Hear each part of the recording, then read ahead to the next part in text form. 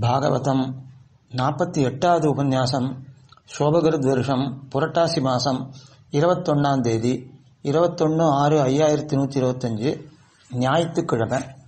ரெண்டாவது ஸ்கந்தத்தில் ஏழாவது அத்தியாயத்தில் நாற்பத்தொன்னாவது ஸ்லோகம் வரையிலும் பார்த்துருக்கோம். பகவானுடைய பெருமையை ஆயிரம் நாவுகள் படைத்த ஆதிசேஷனாக இருந்தாலும் சொல்ல முடியாது என்ற அர்த்தத்தை பார்த்தோம். அதற்கு மேலே எம்பெருமானுடைய பிரபாவம் அவனுடைய சுரூப சுபாவங்கள் ஒருவருக்குமே தெரியாது என்றால் அங்கனை அறி அவனை அறிந்து பணிந்து எப்படி மோட்சம் பெறுவார்கள் என்று நீ சங்கிக்க வேண்டாம். பிரம்மா சொல்கிறார் நாரதருக்கு அவனுடைய சுரூப சுபாவங்களுக்கு எல்லை இல்லை என்பது உண்மைதான். ஆனாலும் அவனை அங்கனம் அறிகிறவர்கள் எல்லையில்லாத சுபா சுரூப சுபாவங்களை உடையவன் என்ன அறிகிறவர்கள்? அப்போ தப்பாமல் மோட்சம் பெறுவார்கள். அது ஒவ்வொன்றையும் அளவுபட்டு அறிய முடியும்னு நினச்சா அவளால் தெரிஞ்சுக்க முடியாது. ஆனால் அளவிட முடியாதவன் என்று தெரிந்து கொண்டால் அவர்கள் மோட்சம் பெறுவார்கள். அவனுடைய ஸ்வரூப சுவாவங்கள் இவ்வளவே என்று அளவிட்டறிபவர்களுக்கு ஞானமே வரலன்னு அர்த்தம். அவர்கள் அவனை உள்ளபடி அறிந்தவர்கள் அல்லர். எல்லையில்லாத வஸ்துவை எல்லையில்லாதவன் என்று அறிதல் தான் சரியான ஞானம். சிறிதும் அபராதமின்றி நமக்கு அடைய தகுந்த வஸ்து இந்த எம்பெருமான் தான். அடைவதற்கு வேண்டிய உபாயமும் அவனே என்று திருடமான பக் புத்தியோட எல்லா விதத்திலும் பகவானுடைய பாதார விந்தங்களை அவர்கள் பற்றுவார்களாயின் அந்த அத்தகையவர் விஷயத்தில் பகவான் தானே தயை பண்ணுவான்.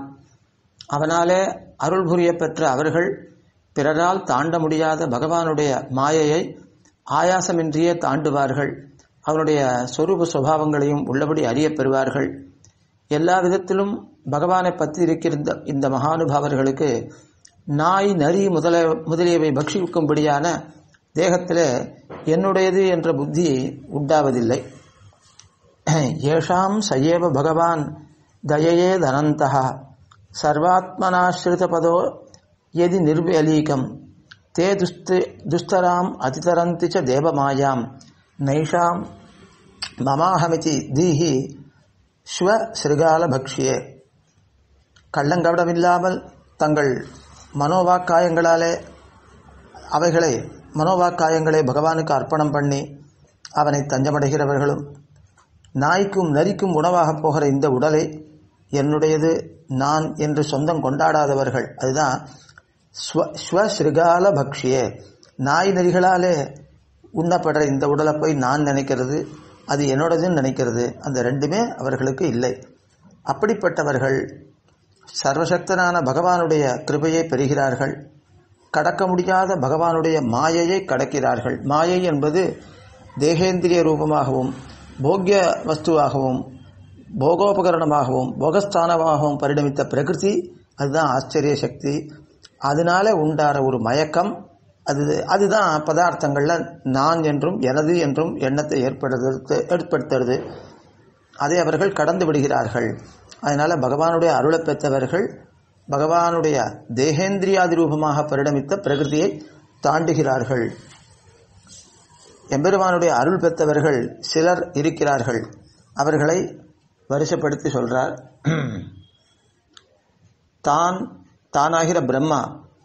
அந்த பிரம்மாவானவன் தேகேந்திரியாதிகளில் போகிதா புத்தியை விடுத்தவர் என்று தன்னை சொல்லிக்கிறார். அதனால் பகவானுடைய மாயையை மாயைனா அந்த மயக்கர பிரகிருதியை கடந்தவராக தன்னை சொல்லிக்கிறார். இப்படி ஒரு சில பேரை சொல்கிறாருங்க நான் இந்த தேவ மாயையை தாண்டினவன் தாண்டுவேன். இன்னும் மோட்சம் பெறலை. ஆனால் உண்மையை தெரிஞ்சுட்டு இருக்கார் பிரம்மா. அப்புறம் நீங்கள் அறிவீர்கள். நீங்கள் என்றது உனக்கு முன் பிறந்தவர்களான சனகாதிகள். பெரிய அறிஞனான ருத்ரன் அறிவான் பிரகலாதன் அறிவான் மனு பத்னி ஆகிய சதரூபை அறிவாள் சுவாயம்புவ மனு அறிவார் உத்தானபாதன் அறிவான் பிரியபிரதன் அவனும் அறிவான். ரெண்டு பேரும் சுவாயம்புவ மனுவனுடைய புத்திரர்கள்.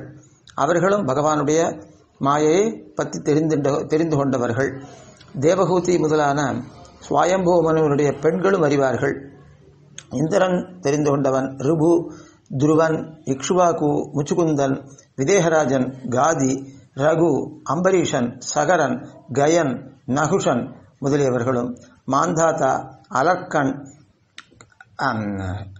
சததன்வன் ரந்திதேவன் பீஷ்மன் பலிச்சக்கரவர்த்தி அமூர்த்தித்ரயன் திலீபன் சௌபரி உதங்கன் சிபி தேவலன் பிப்பலாதன் சாரஸ்வதோத்பவன் பராசரன் பூரி பூரிஷேணன் இவர்களும் விபீஷணன் ஹனுமான் உபேந்திரதத்தன் அர்ஜுனன் ஆர்ஷ்டிஷேணன் விதுரன் ஸ்ருதசேனன் இவர்களை முக்கியமாக கொண்ட இவர்கள் முகமாக இருக்கிற இன்னும் மத்தும் உள்ளவர்களும் இருக்கார்கள். இவர்கள்லாம் பரமாத்மாவுடைய உண்மையை அறிவார்கள். அவனுடைய இந்த மாயை என்பது தேகேந்திரியாதி ரூபமாக பரிணமித்த பிரகிருதி தான் அது பலவிதமான மயக்கங்களை செய்வதனால ஜீவர்களுக்கு அறிவு பாழா போகிறது என்று தெரிந்து அந்த பரமாத்ம ஸ்வரூபத்தை மட்டும் தியானிக்கிறவர்களாக இவர்கள் இருக்கா? ஆச்சரியமான அடிவைப்புகளாலே உலகங்களை எல்லாம் அளந்து திருவிக்கிரமாவதாரம் பண்ணான் பகவான். அந்த பகவானையே சிறந்த பிராப்பியமாகவும் அதாவது அடையத்தகுந்த வஸ்துவாகவும் பிராபகமாகவும் அப்போ அடைவதற்கு உபாயமாகவும் ஆதாரமாகவும் பத்தின மகானுபாவர்களான பாகவதர்களுடைய சம்பந்தம் சிறிது உண்டாக பெற்றால் கூட திரிய வஸ்துக்கள் ஸ்தாவர வஸ்துக்கள் தான் பசு பக்ஷி முதலியவைகள் ஸ்திரீகள் சதுர்த்தர் ஹூடர் ஹூடன்றவா அரோ குரூரர்களான ஒரு ஜாதிகள் வேடர்கள் முதலிய ஜீவர்களும் எவ்வளவு பாபிஷ்டராக இருந்தாலும் கூட பகவானுடைய உண்மையை உணர்ந்து அவனுடைய மாயையை கடப்பார்கள். கேட்ட அர்த்தம் அப்படி இருக்கிறச்சே கேட்ட அர்த்தங்களை நெஞ்சில் தரிக்கிற திறமையுடைய பிராமணாதிகளை பற்றி சொல்ல வேணுமா? நாங்கள் அந்த பகவானை எவ்வண்ணம் அறிந்தோமோ அப்படியே அந்த பகவானுடைய சுரூபத்தை இவர்களே தெரிந்துட்டுருக்கா இவ்வளவு அந்த தேகங்கள் இப்படிப்பட்ட தேகங்களில் இருக்கிறவாளும் அறிந்து கொண்டிருக்கிறார்கள் என்றால் உலகத்தில் பகவானுடைய அருள் பெற தகுதி உடையவர்களாக அநேக ஜீவர்கள் இருக்கார்கள் என்று நாம் தெரிந்து கொள்ள வேண்டும் நான் பகவானுடைய சொரூபத்தை உனக்கு உள்ளபடி சொல்கிறேன் கேட்பாயாக. வேதாந்தங்கள் துக்கம் முதலிய விகாரங்கள் எவையும் தீண்டப்பெறாத அது அந்த பகவத் ஸ்வரூபம் என்றும் நித்யானந்த ஸ்வரூபம் என்றும் பரபிரம்மம் என்றும் எந்த எம்பெருமானை சொல்லுகின்றனவோ அவன் பரமபுருஷனாகிற ஸ்ரீமன் நாராயணன் வேதாந்தங்களாலே அவனை அறிய வேண்டுமே அன்றி மற்ற பிரமாணங்களாலே அறிய முடியாது. பிரத்யக்ஷமோ அனுமானமோ அவன் அருகிலே கூட போக முடியாது. ஜடஸ்வரூபமாகிற பிரகிருதி அவன் எதிரில் எப்படி நிற்க முடியும்? அது மறைந்து போயிடும். பிரகிருதியினுடைய காரியங்களாகிற மனம் முதலான இந்திரியங்கள் அவனுடைய சொரூபத்தை அறியற திறமையற்றவைகள் அவன் சொரூபத்தை வேதாந்தங்களால் மட்டும்தான் அறிய முடியும். வேதத்திலும் பூர்வபாகங்களாலே அவனை அறிய முடியாது. கர்த்தா கர்மா கரணம் என்கிற பல காரகங்கள் அடங்கிய கிரியைகளை எடுத்துரைக்கிறவைகள் வேதத்தினுடைய பூர்வாகங்கள். அது அவனை நேரே அறிவிக்க வல்லதென்று அந்தரியாமி ரூபமாக தெரிவிக்கிறது. இந்த பரமாத்மாவினுடைய சுரூபம் சுகரூபமாக இருக்கும். இப்படி சுகரூபமாக இருந்தால் அந்த இருத்தல் என்பது ஜீவஸ்வரூபமும் எப்பொழுதும் சுகரூபமாக தான் இருக்குது ஆனால் துக்கத்தினுடைய சம்பந்தம் இல்லாமல் எல்லையில்லாத ஆனந்தமே வடிவாக பெற்றிருக்கை. பர பகவத் ஸ்வரூபத்துக்கு உண்டான ஏத்தம். பரமபுருஷனுக்கு தவிர அது ஜீவனுக்கு கிடையாது. முக்த ஜீவன் எப்பொழுதும் ஆனந்த சுரூபியாக இருக்கானேன்னா ஒரு காலத்தில் துக்கியாக அவனும் இருந்திருக்கான். சம்சார திசையில் அவனுக்கு துக்க சம்பந்தம் உண்டு. பகவான் ஜீவன் எப்படி கர்மங்களாலே விளையிற சுகதுக்கங்களை உடையவனாகிறானோ அப்படி ஆகிறானா என்றால் அவன் கர்மத்துக்கு வசப்பட்டவன் அல்ல. எப்பொழுதுமே பரிசுத்தமாக இருக்கிற தன்மையுடையவன். கர்மம் என்பது அவனுடைய நிகிரக அனுகிரகங்களாக இருக்கின்றன. அவனுடைய நிகிரகம்தான் பாபம். அவனுடைய அனுகிரகம்தான் புண்ணியம். அதனால் அவனிடத்தில் அந்த புண்ணிய பாபங்கள் வரமாட்டா.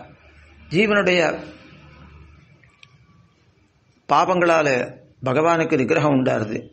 அதாவது தீய செயல்கள் சாஸ்திர விருத்தமான செயல்களாலே பகவானுக்கு நிகிரகம் உண்டாருது. அது அவனுக்கு பாபமாக பரிணமிக்கிறது.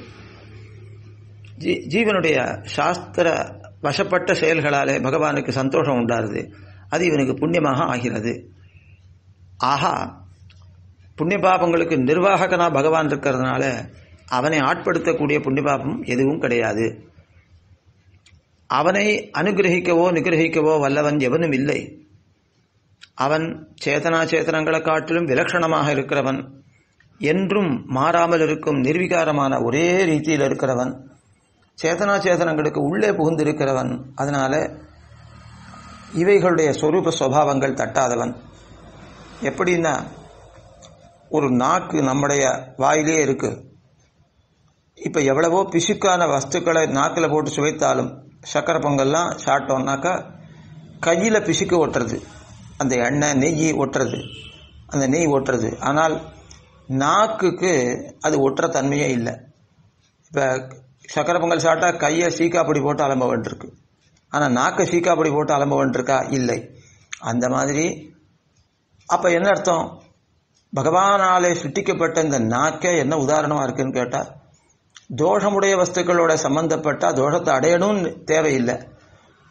அதனுடைய விலட்சணமான சுவாவத்தாலே அந்த தோஷத்தை அடையாமல் அது இருக்கிறது. அதுபோல பரமபுருஷன் ஜீவர்களுக்குள்ளேயும் அச்சேதனங்களுக்குள்ளேயும் அந்தரியாமையாக இருந்தாலும் அவைகளுடைய தோஷம் எதுவும் தட்டாதவனாக இருக்கான். ஞானமே வடிவாக பெற்றவன். ஞானமில்லாத பாகம் அந்த பரமாத்ம சுரூபத்தில் கொஞ்சம் கூட கிடையாது. அது உப்பு கட்டியானது எல்லா இடத்துலையும் உப்பு ரசமே மிகுந்திருக்கும். அதே மாதிரி பரமாத்ம சுரூபம் எல்லா பாகத்திலையும் ஞானத்தாலேயே நிறைந்திருக்கணும் நிறைந்திருக்கும். அவனுக்கு அவன் எல்லாருக்கும் அபயம் கொடுக்கிற சுபாவன். பசி தாகம் முதலான விகாரங்கள் தீண்ட பெறாதவன். தன்னை பற்றினவர்களுக்கும் அந்த விகாரங்கள் இல்லாமையை விளக்கக்கூடிய திறமை உடையவன். அதுதான் மு முக்தி அவஸ்தையில் பசி தாகங்கள்லாம் இல்லாத ஒரு நிலையை ஜீவன் அடைகிறான் பகவானுடைய அனுகிரகத்தாலே. இப்படிப்பட்ட பகவானுடைய உருவத்தை தியானம் செய்ய முயன்றவர்கள் எம்பெருமானிடத்தில் மனசை நிலைநிறுத்தி இந்த ஐகிக ஆமுஷ்மிக பலங்களிலே ஆசையை துறக்கிறார்கள். அதில் கொஞ்சம் கூட அதை லட்சியமே பண்ணுறதில்ல அதுக்கு ஒரு உதாரணம் சொல்கிறார் இந்திரன் மழைக்கு அதிபதியான தேவதை. ஜலம் வேணும் என்றால் அந்த இந்திரன் கையில் மண்வெட்டி கோடாரி இவைகளை கொண்டு அந்த மண்ணை தோண்டி ஜலம் எடுக்க வேண்டிய முயற்சியை பண்ணுவனா? அது மனுஷன் அது பூமிக்குள்ள ஜலம் இருக்கான்னு தோண்ட வேண்டிய தேவையில் இருக்கிறவன் அது ஜீவன். மழையே உண்டாக்குற சாமர்த்தியம் உடையவனான இந்திரன் ஜலம் வேணும் என்றால் கீழே பூமியை தோண்டி கொண்டு போவனா? செய்ய மாட்டான். சங்கல்பத்தாலே உண்டாக்கி விடுவன். அந்த மாதிரி பகவானை பத்தினவர்கள் வேறு புருஷார்த்தங்களை அடைவதற்கான அல்பமான யத்தனங்களை பண்ண மாட்டார்கள். ஏனென்றால் அவர்களுடைய மனது எந்த புருஷா இந்த இந்த அல்ப புருஷார்த்தங்களை அடைந்தால் எந்த சந்தோஷத்தை அடையுமோ அதை விட மகத்தான ஆனந்தத்தில் அவர்களுடைய மனசு நிலை நிற்பதனாலே அதனால் இவர்கள் இந்த ஐகிகமான பலங்களோ ஆமுஷ்மிகமான சொர்க்காதி பலங்களோ அது அவை எவைகளையுமே ஆதரிக்க மாட்டார்கள். அவன் தன்னையே உபாயமாக பத்தினவர்கள். அவர்களுக்கு அப்படிப்பட்டவர்களுக்கு அவன் எந்த புருஷார்த்தத்தையும் கொடுக்கக்கூடிய தன்மை உடையவன். அந்தந்த வர்ணங்களுக்கும் அந்தந்த ஆசிரமங்களுக்கும் உரிய பலன்கள் எந்த எவை எவை உண்டோ அந்த பலன்களை எல்லாம் கொடுக்கிறவன் பகவான் தான் போக்தாச்ச பிரபுரேவச்ச என்று கீதையில் சொல்லுகிறான். அகம்ஹி சர்வ யஜ்ஞானாம் போக்தாச்ச பிரபுரேவச்ச. எல்லா யஜ்யங்களாலும் கொடுக்கப்படுற அவிர்பாகங்களை சுவீகரிக்கிறவன் நான் தான் அந்த யஜ்யங்களுக்கெல்லாம் என்ன பலமோ அதை கொடுக்கிறவனும் நான் தான் போக்தா என்பது ஹவிர் போக்தா ஹவிஸுகளை ஹவிஸுன்றது தேவத்தைக்கு சமர்ப்பிக்கப்படுற அன்னம். அதை புஜிக்கிறவனும் நான் தான் பிரபு என்றால் பலப்பிரதன். அந்த பலப்பிரதனும் நான் தான் அதனால் ஸ்மிருதிகள் எல்லாம் ஒரே விதமாக சொல்லுகின்றன. இந்த புராணத்தையும் ஸ்மிருதின்னு சொல்லலாம். அதனால் பகவானே பலப்பிரதன்னு இங்கேயும் சொல்லப்பட்டிருக்கு. கீதை ஆகிற ஸ்மிருதி அது பகவத்கீ அது மகாபாரதத்தில் இருக்குது அங்கேயும் அப்படியே சொல்லப்பட்டிருக்கு. ஆகையாலே சொர்க்கம் முதலான பலன்களை விரும்புகிறவர்களும் பகவானையே ஆராதிக்க வேணும் ஏன்னா வேறு தேவதைகளை ஆராதித்தாலும் பலன் கொடுக்குறவன் பகவானாக தான் இருக்கான். அதனால் பகவானையே சாட்சாத்தாக ஆராதித்தால் இதை விட அதிகமான பலன் கிடைக்கும் இவர்களுக்கு. இந்திராதி தேவதைகளை ப உபாசித்தாலும் பலன் கொடுக்குறவன் பகவானாக இருக்கிறதுனால அவனை சாட்சாத்தாக உபாசிக்கிறவர்களுக்கு எதைத்தான் கொடுக்க மாட்டான். எல்லாருக்கும் அராவது ஆராதிக்கிற மனுஷர்களுக்கும் ஆராதிக்கப்படுற தெய்வங்களுக்கும் அந்தராத்மாவாக இருக்கிறவன் பகவான். அந்த தெய்வங்களெல்லாம் சித்திரத்தில் எழுதின பொம்மையை போன்றவர்கள் அந்த பொம்மைகளுக்கு பலன் கொடுக்குற சாமர்த்தியம் எப்படி இல்லையோ அப்படி தேவதைகளுக்கும் இல்லை. அவர்களுக்கு உள்ள திறமைகளெல்லாம் அந்தராத்மாவான பகவானுடைய அனுகிரகத்தாலே வந்தவைகள். இப்படி பரமபுருஷன் எல்லாருக்கும் அந்தராத்மாவாக இருப்பான இருப்பானாகில் அவர்களுக்குள்ள சுகதுக்காதியான தோஷங்கள் இவனுக்கும் சம்பந்திக்குமா? உள்ளுக்குள்ளே இருக்கிற வஸ்துவுக்கும் அந்த தோஷம் வருமா? என்றால் அந்தராத்மாவாக இருக்கிற அவனுக்கு அது வரவா வர வரமாட்டாது. தேகினோஸ்மின் யதா தேகே கௌமாரம் யவனம் ஜரா. ததா தேகாந்தர பிராப்தி தீரஸ்தத்திர முக்கியதி தீரஸ்தத்திர முக்கியதி என்று பகவத்கீதை சொல்லுகிறது. ரெண்டாம் அத்தியாயம். தேகியானவனுக்கு தே எப்படி எவ் பால்யம் எவ்வனம் தேகின்னா ஆத்மா. அவனுக்கு தேகத்தில் பால்யம் இருக்குது கௌமாரம் இருக்குது எவ்வனம் இருக்குது ஜர வர்றது மரணமும் அதே மாதிரி தான் ஆனால் ஆத்மா ஒரு விகாரத்தையும் அடைவதில்லை. அந்த தேகம்தான் பால்யாவஸ்தை குழந்தையாக இருக்கிற தன்மை கௌமாரம் சிறு பையனாக இருக்கிற தன்மை அப்புறம் யுவா இளைஞனாக இருக்கிற தன்மை அப்புறம் விருத்தன் கிழவனாகிற தன்மை எல்லா மாறுதல்களையும் அடையிறது. தேகத்தில் தான் அந்த மாறுதல்கள். ஆத்மாவுக்கு மாறுதல் இல்லை. அந்த மாதிரி பகவான் எல்லாருக்கும் அதேமாரி எல்லாவற்றுக்கும் அச்சேதனங்களுக்கும் சரி சேதனங்களுக்கும் சரி அந்தராத்மாவாக இருக்கிறதுனால அவைகளில் ஏற்படுற ஸ்வரூப விகாரங்களோ சுவாவ விகாரங்களோ எதுவுமே அவனுக்கு இல்லை. இந்த ஜீவாத்மாவுக்கே இல்லாதா போலே தேகத்தில் வர விகாரங்கள் ஆத்மாவுக்கு இல்லாதா போலே இந்த தேகங்களான சேதனா சேதனங்களுக்கு ஏற்படுற விகாரங்கள் எல்லாம் அந்தராத்மாவான பரமாத்மாவுக்கு இல்லை. அப்போ அவன் புண்ணிய பாப ரூபங்களான எந்த கர்மத்தினாலும் திண்டப்பெறாதவன். அவனே ஜகத்துக்கெல்லாம் காரணம். ஞானம் சக்தி பலம் ஐஸ்வர்யம் வீரியம் தேஜஸ் என்ற குணங்கள் நிறைந்தவன். அப்படி இருக்கிற வாசுதேவனுடைய உண்மையை உனக்கு சுருக்கமாக சொன்னேன். சேதனா சேதன சுரூபமாக ஆகி சுதந்திரம் போல வஸ்து எது அதாவது தானே ஒரு சுதந்திர வஸ்து என்று தோத்துகிறதோ அதெல்லாம் பரமபுருஷனுக்கு வசப்பட்டது. எந்த வஸ்துவுமே சுதந்திரமானது கிடையாது. உள்ளே இருக்கிற அந்தராத்மா தோத்தாதனால இது ஒரு தனித்த சுதந்திர வஸ்துவோ என்று ஒரு பிரமத்தை உண்டு பண்ணுமே ஒழிய உண்மையில் எல்லாம் பகவானுக்கு வசப்பட்டது பகவானுடைய சரீரமாக இருக்கக்கூடியது. அவனாலே படைக்கப்பெற்று பாதுகாக்கப்பெற்று அவனாலேயே சமகரிக்கப்படக்கூடியது தான் எல்லா வஸ்துவும். இப்படி இந்த பகவானுடைய மகிமையை அறிவிக்கக்கூடிய அறிவிப்பதால் இந்த புராணம் பாகவதம் என்று பெயர் பெற்றது. பா பகவத இதம் பாகவதம். பகவானோடது பகவானாலே பகவானோட சம்பந்தப்பட்டது பாகவதம். அப்போ பகவானுடைய சம்பந்தப்பட்டது அவனுடைய மகிமை. அந்த மகிமையை தெரிவிக்கக்கூடியது பாகவதம். அதனால் பகவத்கதமான மகிமா பிரதிபாதகம் பாகவதம். பகவானிடத்தில் இருக்கிற மகிமையை பிரதிபாதிக்கக்கூடியது பாகவதம். அது மட்டும் இல்லை பகவத் புரோக்தம் பகவானாலே பிரம்மாவுக்கு உபதேசிக்கப்பட்டது. அதனால் பகவதா புரோக்தம் பாகவதம். என்று ரெண்டு விதமாக பாகவதம்ன்ற சப்தத்துக்கு அர்த்தம் சொல்கிறார் இந்த இடத்துல பிரம்மா. அதனால் பகவானுடைய மகிமையை அறிவிப்பதனாலே பாகவதம் பகவானாலே சொல்லப்பட்டதாலே பாகவதம். அப்படி பேருடையது இந்த புராணம். இதை எனக்கு பகவானே உபதேசித்தான். இந்த பாகவத்தை பாகவதத்தை நீ பெரிய புராணமாக செய். நான் உனக்கு இப்பொழுது சுருக்கமாக சொன்னேன். அனைவருக்கும் அது அந்தராத்மாவாக எம்பெருமான் இருக்கான் எல்லாவற்றுக்கும் ஆதாரமாக இருக்கான் தன்னை பற்றினாருடைய பாபங்களை போக்குபவனாக இருக்கான். அந்த பகவானிடத்தில் எல்லா பிராணிகளுக்கும் பக்தி உண்டாகும்படியாக இதை நீ விஸ்தரமாக செய்வாயாக. என்று நாரதர் நாரதருக்கு பிரம்மா உபதேசிக்கிறார்.